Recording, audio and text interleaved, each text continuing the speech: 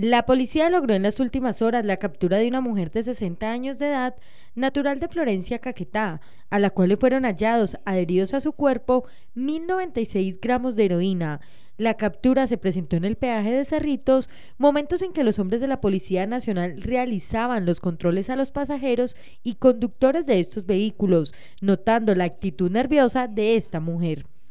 se determina que en su equipaje y en los elementos que porta no tenía ninguna otra situación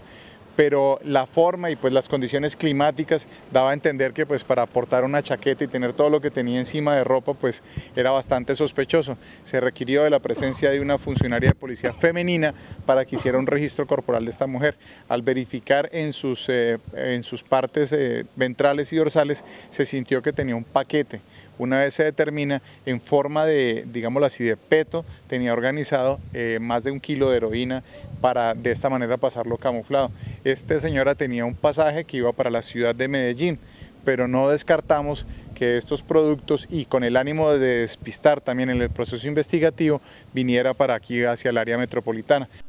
En una operación contra el hurto a automotores, Policía Metropolitana recuperó cuatro vehículos y una motocicleta. Los automotores habían sido hurtados en varias ciudades del territorio nacional, los cuales tienen un costo de 60 millones de pesos. En muchos casos, los delincuentes utilizan escopolamina para lograr hurtar estos vehículos un proceso investigativo que se sigue adelantando, noticias criminales que se aperturan en el eje cafetero en las diferentes ciudades, tenemos una banda que actúa dentro de los tres departamentos, actúan eh, convocando a personas, con mujeres voluptuosas, con hombres convencedores, con ofertas económicas bastante favorables y aceptables, apreciando la necesidad de adquirir o de, comercializar un vehículo. Les hacen una oferta económica que pues al, al, parecer sería bastante retribuible y las personas caen y sucumben ante la tentación, se desplazan con ellos y sobre la vía pública les suministran estupefacientes, les suministran en algunas ocasiones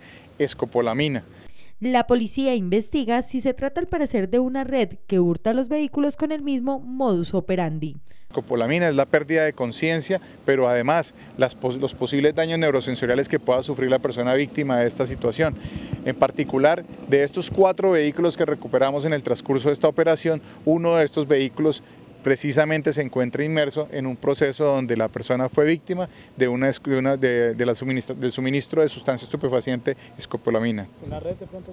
Por supuesto, siempre están articulados, son delincuentes que no actúan como solitarios, sino actúan articulados con alguien más. Se encargan unos de recopilar la información, otros se encargan de hacer la, digámoslo así, la sugestión al vendedor o al poseedor del bien. Muchos otros de ellos se encargan ya de la comercialización de los elementos. Estamos evidenciando que esto estos vehículos no son para el desguace que se determina la,